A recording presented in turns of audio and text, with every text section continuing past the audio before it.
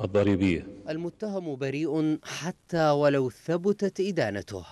هذه القاعدة المقلوبة أصبحت واقعية في العراق بعد رفع الحجز عن الأملاك التي تعود لصاحب قضية سرقة القرن نور زهير جاسم وزوجته والتي تبلغ أكثر من أربعين عقارا في عدد من المناطق.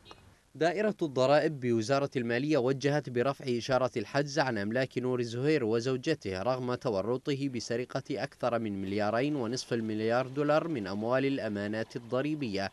وعلى هذا الأساس أصبح حر التصرف فيها.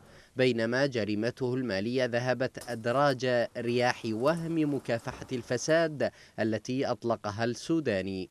هذا التطور الخطير الذي يعزز غياب المساءلة مرتبط بمستجدات عن قضية سرقة القرن كشف عنها وزير المالية السابق علي علاوي عندما اتهم مسؤولين رفيعي المستوى بالتورط في سرقة أموال الضرائب.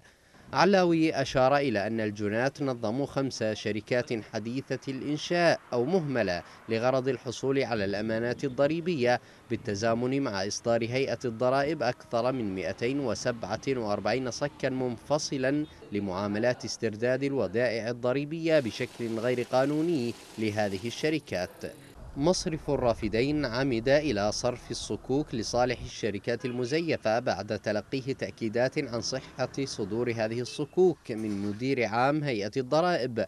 وتم صرف المبلغ نقدا الأمر الذي يثير تساؤلات حول غياب المراقبة المالية وكذلك قيام أطراف النافذة بالتغطية على عملية السرقة. ورغم تعهد نور زهير بإعادة المبلغ إلا أن ذلك لم يتم بشكل كامل أي أن الإجراءات الحكومية شملت جزءا من القضية بينما بقي جزءها الآخر مطويا لاعتبارات تتعلق بتورط شخصيات نافذة من الأحزاب التي شكلت حكومة السوداني هذه القضية تعيد إلى الأذهان عشرات القضايا المتعلقة بسرقة المال العام وتهريبه خارج العراق وكلما أتى رئيس حكومة جديد يتعهد بإعادتها لكن بدلا من إعادتها تحدث في عهده سرقات جديدة.